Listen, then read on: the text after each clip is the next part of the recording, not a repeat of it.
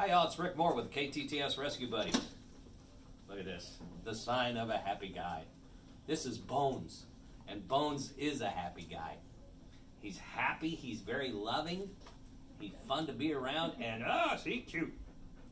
He needs a good forever home. Now, the, the thing with Bones is that uh, Bones is, is heartworm positive, which just means that if you adopt him, you take him back to the Humane Society and they'll continue his treatments. But, and, uh, and he'll be fine.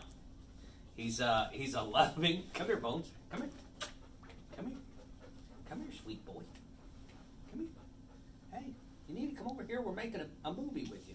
Turn around and look at the camera. Here you go, handsome fellow. SWH.org, that's the uh, Humane Society's website. And if you adopt Bones, he comes with this handsome bandana that we're both wearing because we look good in them, don't we, Bones? Hmm? Yeah.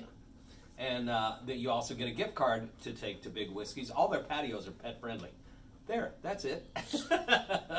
and take Bones with you to the pet friendly patio at one of the Big Whiskey's, and you guys have a treat together. Uh, Humane Society always needs, we need cash donations big time. We're a no-kill shelter now, and that's uh, it's not easy to fund. So if you can help out that way, that's great. There's also a wish list at the website at swh.org. And if you're looking for a, a great guy to add to the family, a happy guy, ask about Bones.